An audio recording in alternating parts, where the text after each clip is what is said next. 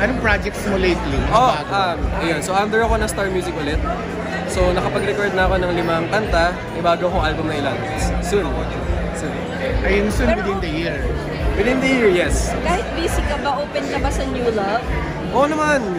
Kaya lang, busy lang talaga. Pag may dumating, edi masaya. Pag wala, edi happy pa din ako.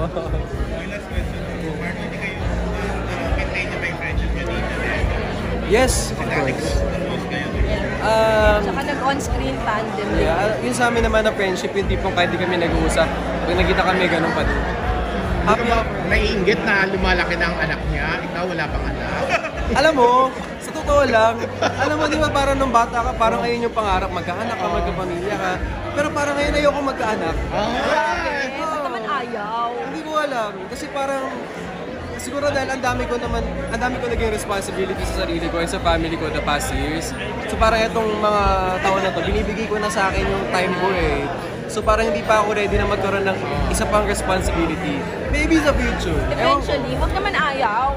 Tingin mo, dapat magka-baby ako. Oo, kahit eventually. Sayang. Hindi din. Hindi din. Ngayon nga sa showbiz, no, parang ano na, kung dati pabilisan, dapat may asawa ka na ng 30, may anak ka na ngayon. Magalang. How old are you now, ba? Eh, lalo na tatanong siya. Eh, iba-iba. Iba-iba sa Google eh. Ilan, ilang taon ba ako sa paningin Oo, mo? para ma-sure. Ikaw naman. 21. Oh, ganun Wow. na. Kung ano yung paniniwala mo, yun. Kung ano yung imagination mo. Okay. Thank you, thank you. Ang 21-year-old